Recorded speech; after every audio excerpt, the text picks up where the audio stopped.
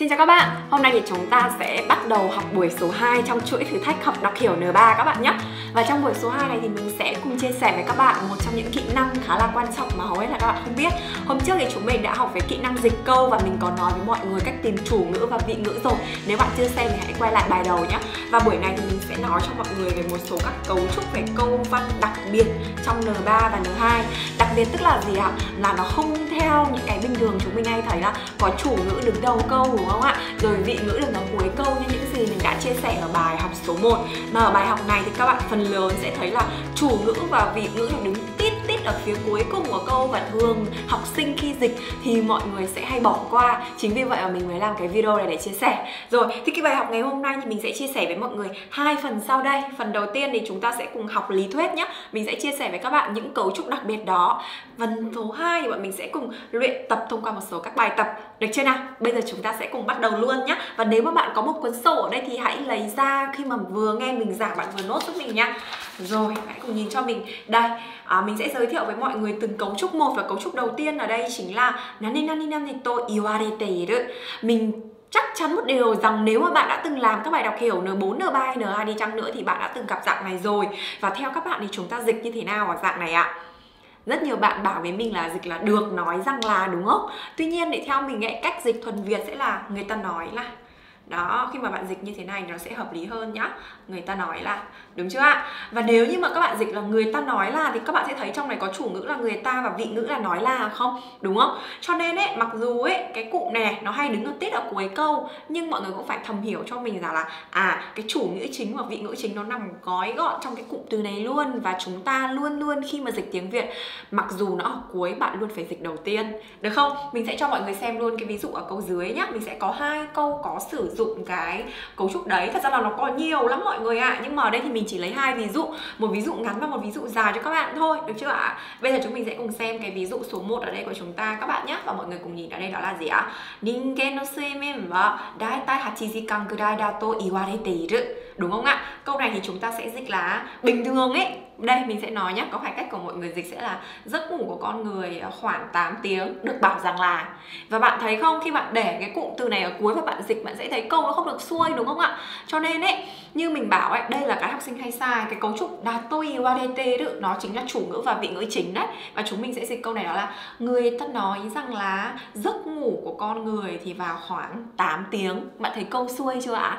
Đúng không? Cho nên một nguyên tắc về các cấu trúc ấy, mình luôn bảo với mọi người là tìm chủ ngữ thì thường ấy, mọi người sẽ thấy chủ ngữ ở đầu, đúng không? Và rất nhiều bạn cũng sẽ nghĩ chủ ngữ ở trong câu này đó là ningen no suimin là chủ ngữ ạ. Nhưng thật ra chủ ngữ chính trong câu này nó phải nằm ở cuối cơ. Và chúng mình dịch là người ta nói là còn nó, cái cụ mà ningen no suimin nó chỉ là chủ ngữ nhỏ ở trong cái lớp áo đấy thôi. Bạn hiểu chưa? Đó. Thế thì bây giờ chúng ta sẽ cùng làm một cái bài tập nho nhỏ thử thách ngay dưới này. Bạn cùng nhìn cho mình cái câu phía dưới và chúng ta cũng có một cái cụm từ như thế này nhá. Được không? Mình sẽ dịch câu đầu cho các bạn, còn câu phía sau. Đó, thì mọi người sẽ tự dịch nhá. Đó là 科学技術の進歩によって私たちの生活はより快適で便利になっている thì chúng mình sẽ có một cái cấu trúc ngữ pháp niyote và mình dịch là nhờ vào được chưa đúng không ạ? Thì câu này các bạn sẽ dịch đó là nhờ vào sự tiến bộ của khoa học kỹ thuật. Chủ ngữ này, mà cuộc sống của chúng ta, đúng không ạ, đã trở nên thoải mái và tiện lợi hơn. Thì đây là một câu rất là bình thường thôi và áp đúng như những quy tắc mà mình đã dạy mọi người ở buổi số 1 rồi. Chúng ta sẽ dịch thành phần phụ là nhờ vào sự tiến bộ của khoa học kỹ thuật này. Sau đó dịch chủ ngữ là cuộc sống của chúng ta này. Rồi dịch vị ngữ thì sẽ là đã trở nên dịch ngược từ dưới lên ạ. Đã trở nên thế nào nhỉ? Thoải mái hơn và tiện lợi hơn, đúng không? Cái yo đi đứng ở đây đây thì chúng mình dịch là hơn nha các bạn. Được không? Rồi, bây giờ lại đến mệnh đề tiếp theo là mệnh đề mà mình nói là nó bao hàm cái cụm ivarete đó mà chính là chủ ngữ chính và vị ngữ chính ở cuối, đúng không? Và như lúc nãy thì chúng ta sẽ dịch cụm này là người ta nói là nhé shikashi, benri ni naru toyu koto wa ningen no noryoku ga usinawareru koto da mo iwarete iru đúng không ạ? Tuy nhiên người ta cũng nói rằng là, bạn hãy để ý là bình thường thì có thể ở đây thì người ta dùng với đá tô thôi, nhưng mà đây người ta lại dùng đá tô mộ. Người ta có thêm cái trợ mộ thì bạn nhớ là người ta muốn nhấn mạnh hơn nên chúng ta sẽ dịch là cũng nhá, phải không? Thì để cái câu này xuôi hơn thì có phải mọi người sẽ dịch là, tuy nhiên, người ta cũng nói rằng là cái việc, lại dịch này, cái việc mà trở nên tiện lợi ấy, thì làm cho năng lực của con người nhá cái năng lực của con người bị đánh mất đi bạn thấy câu xuôi không ạ? Và mình dịch tổng thể lại cho mọi người câu đầu tiên là nhờ vào sự tiến bộ của khoa học kỹ thuật mà cuộc sống của chúng ta đã trở nên thoải mái và tiện lợi hơn. Tuy nhiên, người ta cũng nói rằng là cái việc mà trở nên tiện lợi đó thì khiến cho năng lực của con người bị mất đi. Chúng ta thấy câu rất là xuôi, phải không? Thế thì từ cái ví dụ ban đầu và đây là cái dạng mà mình thấy gặp rất là nhiều, chắc chắn là mọi người đã gặp rồi. Nếu mà các bạn gặp nó thì bạn hãy để ý là phải dịch ở đầu các bạn nhé mặc dù mọi người nhìn thấy nó tít tít cuối như thế này, nhưng chúng ta luôn phải đẩy nó lên đầu. Và cách dịch xuôi nhất trong tiếng Việt thì bạn nên nói là hãy người ta nói là. Được chưa nào? Chị ghi chúng mình sẽ cùng xem thêm nhé Cụm tiếp theo của chúng ta ở đây chính là Tốt thân gây là đề tế Và bạn dịch cụm này như thế nào ạ? À, cụm này thì chúng mình sẽ dịch là suy nghĩ rằng là Suy nghĩ rằng là hoặc là cho rằng. Bạn có thể dịch là cho rằng cũng được. Được chưa? Ok, vậy thì mọi người dễ nhìn thấy ấy, cụm này chúng ta cũng dịch như vậy thôi. Chúng ta vẫn thấy là cả cái cụm tộ khăn gai là đê được mặc dù nó ở cuối các bạn nhé Nó ở cuối của một câu như thế này nhưng chúng ta luôn phải đẩy lên đầu để dịch Vì nó chính là một cụm chủ vị đấy, một cụm chủ vị chính. Mình sẽ dịch cho mọi người câu này nhé, các bạn có thấy không ạ? Một câu rất là dài, chúng ta sẽ cùng xem nhé Koromo no taryokuto undo ni kansuru chosa de Ok, mình tách câu, cái phần tách câu mình đã dịch dạy mọi người rồi hả? Hasiru, tobu, nageru nado no kis るなどの基礎的な体力は、はい、昔より落ちていて、外で体を動かして運ぶ機会が減ったことが最大の原因だと考えられている。Đúng không ạ? Rồi thì chúng ta sẽ cùng xem nhé. Đầu tiên thì người ta bảo là sao nhỉ? Trong một cái khảo sát, điều tra, đúng không ạ? Trong một cái điều tra mà có liên quan đến vận động và thể lực của trẻ con nhá. Cái đoạn này nó hơi dài một chút, nhưng như mình đã dạy mọi người, nếu mọi người thấy đếu ạ thì nó chỉ là thành phần phụ thôi. Có thể là chỉ địa điểm và đây đặc biệt là chỉ về một cái lĩnh vực đó là trong cái khảo sát mà người ta điều tra liên quan đến vận động và thể lực của trẻ con ấy, thì người ta nhận ra được một việc đó là cái thể lực, đúng không? Cái thể lực căn bản của bọn trẻ con để làm những việc như là ném này, nhảy này chạy này, thì so với ngày xưa là đã giảm thiểu rồi. Tức là năng lực, thể lực của bọn trẻ con bây giờ nó đã bị sút giảm rất nhiều rồi. Ok, vậy là chúng ta tách được nha. Và bây giờ bọn mình giải quyết cái vấn đề của mệnh đề này, đúng không ạ? Và với mệnh đề này thì chúng ta có khăng gai đà đề tế đó, đúng không? Thì mình sẽ dịch là, và người ta cho rằng, hợp lý chưa nào? Và người ta suy nghĩ rằng hoặc là người ta cho rằng, ok không? Thế là và người ta cho rằng thế nào nhỉ? Cái việc mà những cái cơ hội để bọn trẻ con nó vận động hay là nó à, chơi bời đúng không? Ở ngoài thì à, giảm thiểu ấy thì cái việc đấy là nguyên nhân lớn nhất nguyên nhân lớn nhất của cái gì? Nguyên nhân lớn nhất của việc mà thể lực bọn trẻ con bây giờ giảm mọi người hiểu chưa?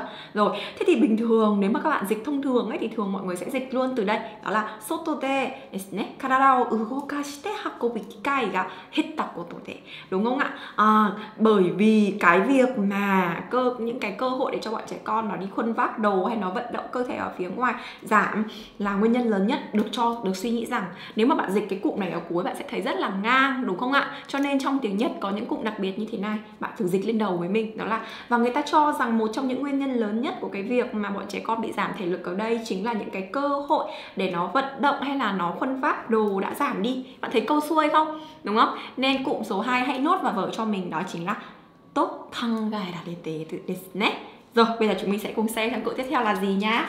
Ok, hai, chị đó, đây đây chúng mình sẽ có đó là tốt không gì đã để được nhé.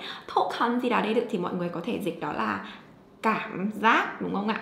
Cảm giác là đúng không? Thì có thể là người ta có cảm giác là nhưng ấy thường ấy mọi người hãy để ý cho mình là với những con di ấy là cảm giác thường là là ai ạ? Là tôi đúng không? Phải là mình ấy mình có cái cảm giác là đúng không? Cho nên thường ấy câu này thì chúng mình sẽ dịch là tôi có cảm giác là mặc dù bạn không thấy có cái cụm watashi ở đây thì như mình nói ấy, đó là chủ ngữ thì có thể là người ta hoặc là tôi đúng chưa? Nhưng mà những cái động từ như là kanji là cảm giác thì thường là nói về nhân vật tôi nhiều hơn. Chúng ta có thể nhìn thấy ngay ở cái câu này bạn có thể nhìn thấy đây không ạ? Kanjimasu desu thật ra thì kanjimasu hay kanji da demasu thì cũng được dùng trong đọc hiểu như nhau thôi, được chưa? Ok, thế bây giờ quay vào cái đoạn này thì bạn cũng sẽ để ý được cái điểm đấy, mọi người để ý này uh, chúng ta sẽ không thể nhìn thấy được cái cụm từ watashi ở đây đâu. Bạn nhìn này, saikin denkisei no mise ni ikuto pan ya yakeru suihanki ya heya no kuki mo kirei ni suru soujiki nado nani nani ichidai de iroro na koto ga dekiteru souhin ga oi to kanjimasu. Bạn sẽ có cảm giác là không có chủ ngữ trong câu này, chúng ta không thấy cái cụm từ watashi ở đâu đúng không? Thì như mình bảo với mọi người ở buổi trước rồi, có một cái trường hợp chủ ngữ bị khuyết đi đó là người ta là nhân vật tôi ấy, mà người ta không muốn nói đến, đúng không? Tiếp theo, với cái câu này cũng vậy nhá.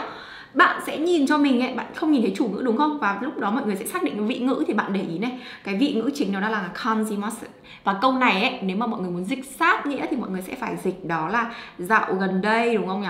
Cứ hễ khi đi đến những cái cửa hàng về đồ điện tử ấy thì tôi có một cái cảm giác đó là có rất là cái nhiều sản phẩm, đúng không? Có rất nhiều sản phẩm này. Tôi có một cảm giác rằng là những cái cửa hàng điện tử đó, người ta bán rất là nhiều những cái sản phẩm mà chỉ trong một cái máy thôi mà có thể làm được nhiều việc.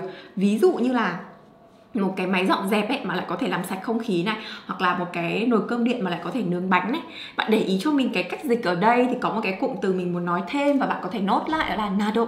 Nado thì như ở đây thì mình dịch là ví dụ như là đúng không ạ? Tại sao lại dịch như vậy? Thì các bạn để ý ấy, năng động nó chỉ mang tính chất liệt kê thôi nhá. Liệt kê cho những thứ sẽ được nói ở phía sau. Ví dụ như câu này thì chúng ta thấy là mình dịch là uh, dạo gần đây đúng không? Tôi có cảm giác là cứ mỗi khi đi đến những cái cửa hàng thế nào nhỉ bán đồ điện tử đấy. Thì có rất là nhiều những cái sản phẩm mà chỉ trong một máy thôi mà có thể làm được nhiều chuyện. Ví dụ như là đến lúc đấy bạn mới dịch cái nào độ này. Ví dụ như là một cái máy mà làm được nhiều thứ thì người ta đưa ra liệt kê ở đây đó là một cái sojiki, đúng không ạ? Một cái máy dọn dẹp mà có thể làm sạch không khí khí hay là một cái suihanki một cái nồi cơm điện mà lại có thể nướng được bánh. Được chưa? Vậy thì mình nhấn mạnh lại cho mọi người một chút, đó là nếu mà bạn thấy có những cụm như thế này ở cuối cùng thì chúng ta thấy là cụm chủ vị ở cuối đấy. Ok? Nhớ cho mình cụm này nữa nhá. Rồi chúng ta sẽ cùng tìm hiểu xem còn cụm gì nữa. À đây. Đây là cái cụm mà học sinh của mình bị sai nhiều nhất các bạn ạ. Và mình rất là muốn nếu mà bạn đang xem video này thì bạn nó nhớ cho mình ấy. Không có à trời ơi mình hỏi bạn nào mọi người cũng không hiểu. Và mọi người luôn theo một cái thói quen đó là dịch từ đầu này dịch từ trái sang phải thôi. Còn không nhìn ra được những cái dạng này. Ờ, học sinh hay hỏi mình là làm sao mà cô nhìn ra được cả? Bởi vì thật ra em đọc đọc tái đọc hồi đọc trước đọc sau em không nhìn ra được vấn đề đấy.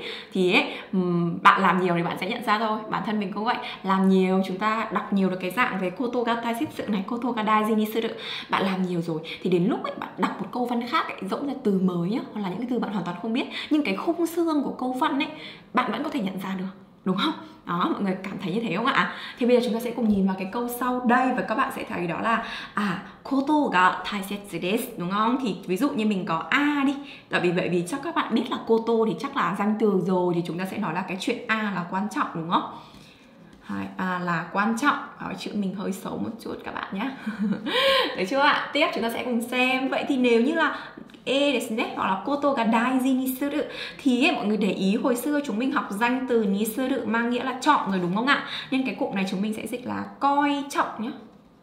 Coi trọng a nhé coi trọng cái chuyện a ấy mọi người nhớ nhé daiji ni được là coi trọng cái chuyện a, được chưa? Vậy thì các bạn nhớ cho mình hai, nếu như có hai cái cụm từ này ở cuối cùng của một câu thì chúng ta luôn phải dịch ở đầu tiên, bởi đấy chính là chủ ngữ chính và vị ngữ chính. Chúng mình cùng xem với cái câu đầu tiên như thế này. Đấy ạ, câu này có ba dòng như này và mọi người cùng đọc với mình nhé chúng ta có là 最近はコンピューターが使えたり外国語が話せたり社会に出てすぐに役に立つ能力を身につけることが大事にされている và nếu là bạn thì bạn sẽ dịch như thế nào ạ rất là nhiều bạn học sinh cho mình hỏi thì các bạn ấy sẽ có cái kiểu là À, computer ga tsukaetari À, vậy thì chủ ngữ đây là computer Vì cô dạy em là Trước trợ từ cá là chủ ngữ mà, đúng không ạ? Hoặc là các bạn đọc tiếp theo là Gaikokugo ga hanasetari À, vậy thì chủ ngữ đó là tiếng nước ngoài Bởi vì có trợ từ cá ở đây, đúng chưa nào? Đúng không ạ? Đó, vậy thì trong một câu bạn thấy có quá nhiều những trợ từ như là wow, ga, ga hay ở đây cũng có cả. Thì chúng ta phải xác định chủ ngữ như thế nào là hợp lý.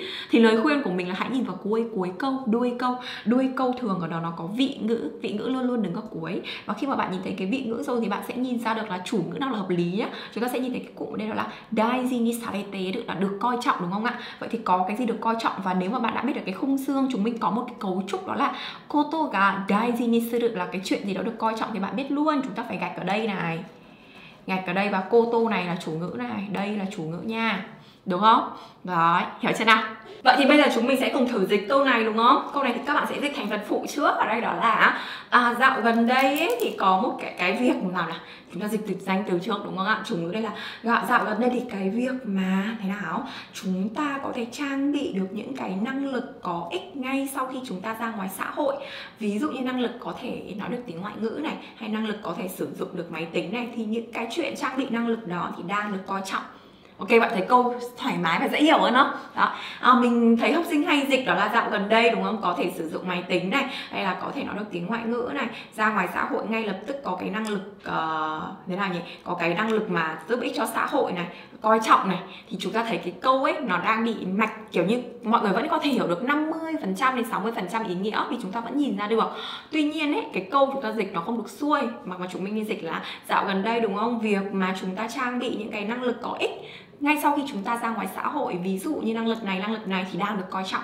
Thì cái câu rất là xuôi. Và vì vậy mà khi bạn nhìn thấy rõ ràng cái chủ ngữ và bị ngữ nó nằm ở cuối cùng như thế này và nó khuất lấp một chỗ mà chúng mình không nhìn thấy. Và nhiều bạn thì nghĩ rằng chủ ngữ nó là computer nhiều bạn lại nghĩ chủ ngữ là gai cốc cử cô. Thì hãy để ý cho mình cái điểm đấy nhá. Đấy thế thì bây giờ chúng mình mình có một cái câu như thế này ok? Và mình sẽ thử để cho các bạn khoảng à, trong vòng à, 5 giây đi. Mọi người dừng cái video và mọi người thử dịch nhá. Sau đó mình sẽ dịch cho các bạn xem mọi người có thể áp dụng và cảm thấy hiệu quả ngay trong cái bài học này không ạ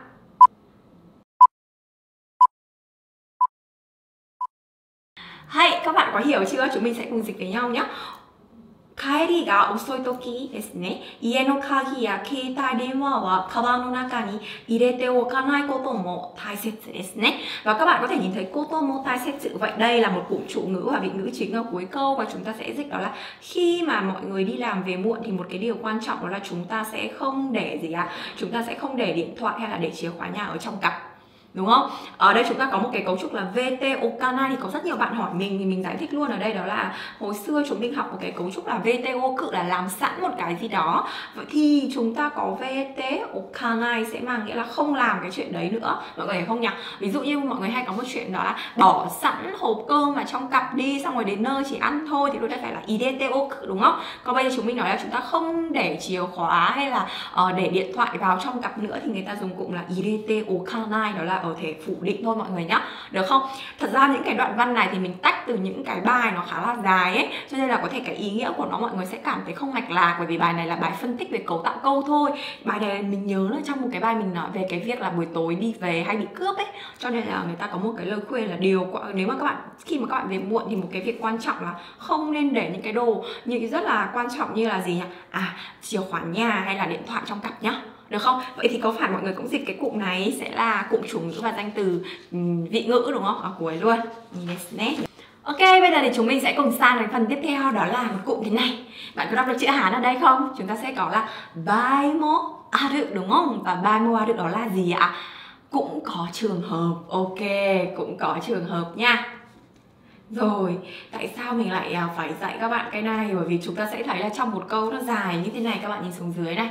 Và nếu mà bạn không nhìn được, được ra cái khung xương của nó và bạn dịch nó đẩy nó lên đầu Thì lúc mà bạn dịch bạn sẽ thấy rất là ngang.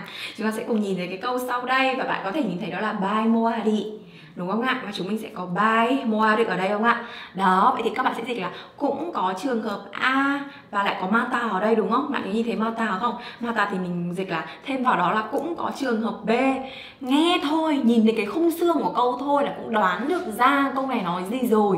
Đấy chính là sức mạnh của việc là mọi người đoán được những cái cấu tạo của câu như thế này. Bây giờ chúng mình sẽ cùng xem câu này nhá. Đó là gì nhỉ? Hito ni nanika wo tanomareta bai.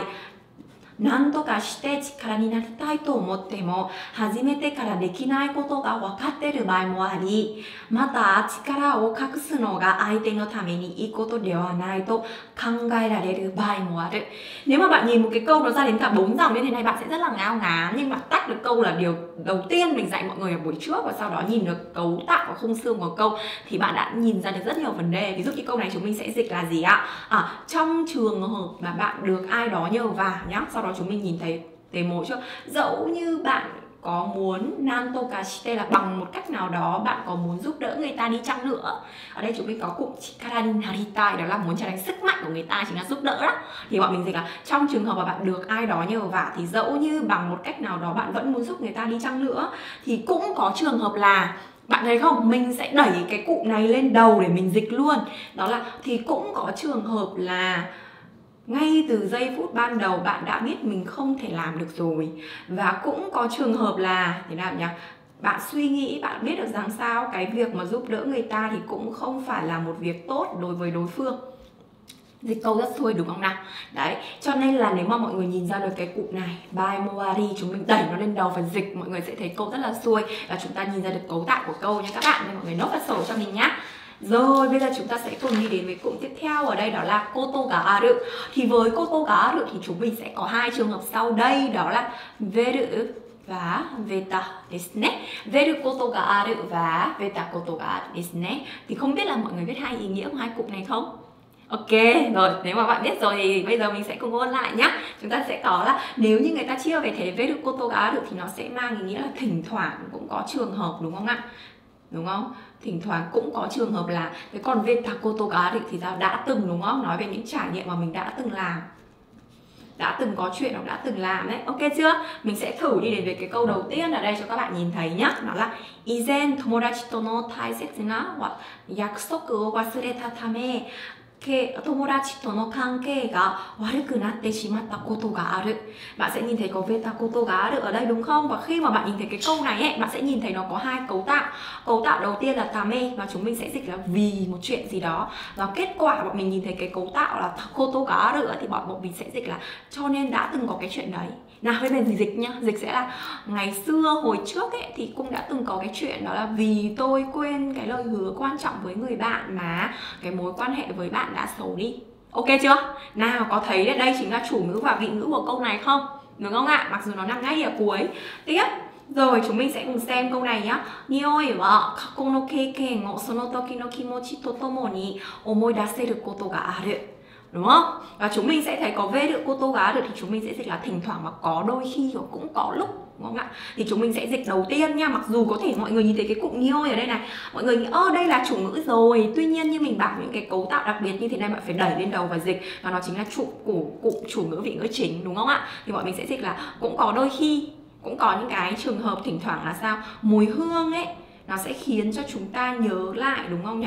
Cái gì nhỉ cái kinh nghiệm trong quá khứ cùng với những cảm xúc của lúc đó Ok, nghe rất xuôi đúng không ạ? Có phải là thỉnh thoảng đôi khi một cái mùi hương nào đó nó thoáng qua trong đầu bạn và nó khiến cho bạn ố môi đà xe nhớ lại, nhớ lại cái gì ạ? Nhớ lại kinh nghiệm trong quá khứ và Totomoni là cùng với cả những cảm xúc lúc đó nữa.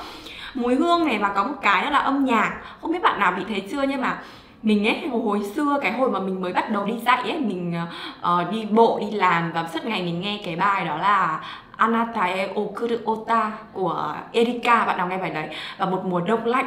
Thế là bây giờ mỗi một lần mà mình nghe lại bài đấy nhá kiểu người mình lạnh sống lưng luôn mình nhớ lại cả những cái cảm xúc lúc đấy khi mà mình đi dạy, rồi cả con ngõ đấy hay là cái lớp học đấy, mình nhớ lại tất cả mọi thứ ấy. Cho nên mình mình thấy nó khá là hay. Không biết các bạn có cùng cái cảm xúc đó không? Thì cái bài này nó nói đúng này. Mùi hương nhá, hay cả âm nhạc đối với bản thân mình là vậy. Mình nghe cái bài đấy. Các bạn có thể nghe bài đấy rất là hay. Nó khiến cho bạn nhớ lại là cả kinh nghiệm trong quá khứ, đúng không? Những trải nghiệm trong quá khứ. Và tomo, tố tomo là cùng với cả cảm xúc lúc đó nữa rất là nhớ cho mình cái cụm này nhá. Rồi bây giờ chúng ta sẽ đi đến thêm một cụm nữa ở đây đó là hay cô tô gầu ôi cái này gặp nhiều lắm. Gặp thật sự rất rất là nhiều luôn. Nhiều lắm. Và bọn mình cứ hay bỏ qua nó không dịch nó đúng không? Thì ở đây các bạn nhớ ấy, mọi người sẽ dịch đó là phần lớn hoặc là đa phần. Phần lớn phần nhiều gì đấy á mọi người nên dịch nhá dịch như vậy chúng mình sẽ cùng xem về cái câu sau đây chúng ta có trong cái câu này đó là 日本ではですね、あ子供の遊び方も変化してきた câu này rất là đơn giản và bạn dịch như những gì mình dạy thôi tại Nhật Bản thì cái cách bọn trẻ con nó chơi ấy thì đang thay đổi đúng không đã thay đổi rồi sau đó là sao ạ 昔は子供は外で遊ぶことが多かったが今は一人で室内でテレビを見たり game của study sự koto ga ơi thì nó sẽ có hai koto ga oi đấy cho các bạn này. Và chúng mình sẽ dịch là ngày xưa ấy thì phần lớn là bọn trẻ con nó sẽ chơi ở ngoài, đúng không? Còn bây giờ phần lớn bọn trẻ con nó sẽ chơi một mình ở trong phòng và xem tivi và chơi game. Bạn thấy không? Mình sẽ luôn đẩy cái phần lớn này lên đầu và mình dịch cho bạn được không nào? Thì mình thấy mọi người hay có thói quen là mọi người bỏ cái cô tô cáo ôi đi mọi người sẽ dịch đó là ngày xưa thì bọn trẻ con nó chơi ở đâu nhà chơi ở ngoài còn bây giờ bọn trẻ con nó chơi trong nhà. Dịch như thế thật ra cũng đúng đấy không có sai. Như mình bảo ấy nó vẫn khiến cho bạn hiểu được đến 70% ý nghĩa của câu này. Nhưng mà chẳng qua là nó không xuôi và không hay thôi. Và, và bản chất của câu thì bạn nhớ cho mình đây sẽ luôn là cụm chủ vị đứng đầu bao bao to bao quát. Nó giống như cái lớp áo khoác của bạn ấy. Bạn mặc cái lớp áo khoác bạn mở ra thì nó mới có một cái lớp áo ở trong như thế này cho bạn đọc ok chưa lúc nào cũng phải đọc cái lớp áo ở ngoài nhá. Rồi, bây giờ thì chúng ta sẽ đi đến với một cái cụm cuối cùng ạ. Và cái cụm này cũng là cụm mà kiểu mình thấy Ôi, thế nào nhỉ, mọi người không dịch được. Phần lớn là mọi người dịch được đó là danh từ đi với no hitotsu desne chúng mình sẽ xem về cái câu sau đây. Và thường ấy thì mình sẽ dịch cái này đó là một trong số ạ. Là một trong số nhá. Mình sẽ dịch cả là một trong số. Ok, chúng ta sẽ cùng xem câu này là một trong số như thế nào đấy.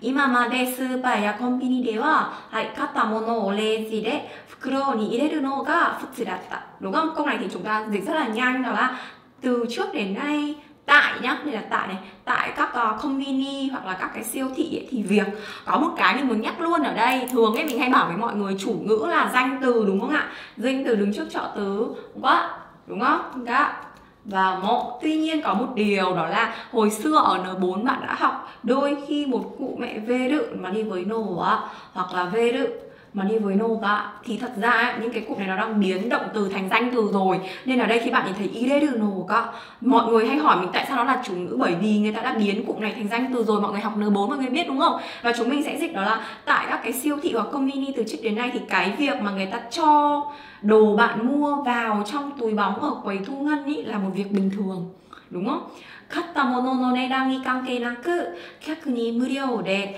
レジ袋をあげることは Nise no service no hitotsu datta no da. Các bạn có nhìn thấy đây là hitotsu là một trong số phải không ạ? Thì cái này nó cũng không hẳn là chủ ngữ vị ngữ gì nhưng nó là một cái cụm rất đặc biệt và chúng mình nên dịch là là một trong số nhá. Thì đây mình sẽ dịch là uh, thế nào nhỉ? Không có liên quan đến giá cả của những đồ bạn mua mà cái việc này, cái việc mà người ta cho bạn cái túi bóng ở quầy thu ngân một cách miễn phí ấy, thì là một trong số những dịch vụ của cửa hàng đúng không? Mọi mình dịch là là một trong số. Cái này thì nó khá là hay nên là mình muốn nói thêm trong video này vì nó cũng đặc biệt nữa. Mong là nếu mà các bạn gặp nó ở đâu đó thì bạn cũng sẽ dịch và hiểu nó dễ hơn nhá. Được chưa nào?